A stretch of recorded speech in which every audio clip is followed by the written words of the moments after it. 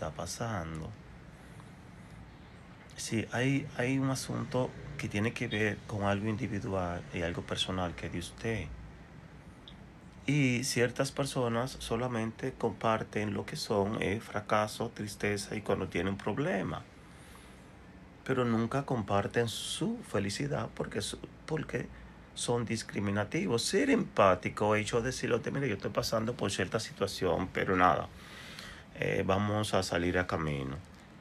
Entonces, si la persona tiene también esa empatía, le va a decir lo mismo, que sigue adelante, vamos a luchar juntos y eh, como dicen muchos religiosos, eh, vamos a orar, vamos a mantenernos firmes, vamos a luchar. El asunto de la empatía también tiene que ver con algo que tiene con la ética de cada quien. Entonces, es, es peligroso, es peligroso.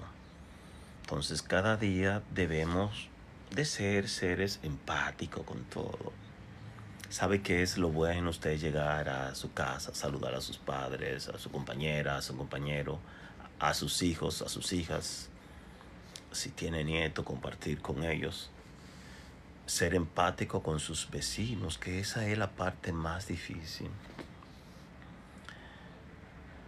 Eh, es complicado, es complicado.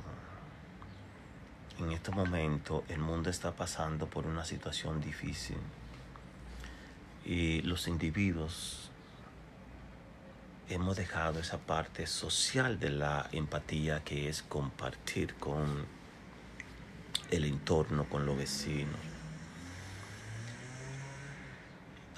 decían los a nuestros ancianos que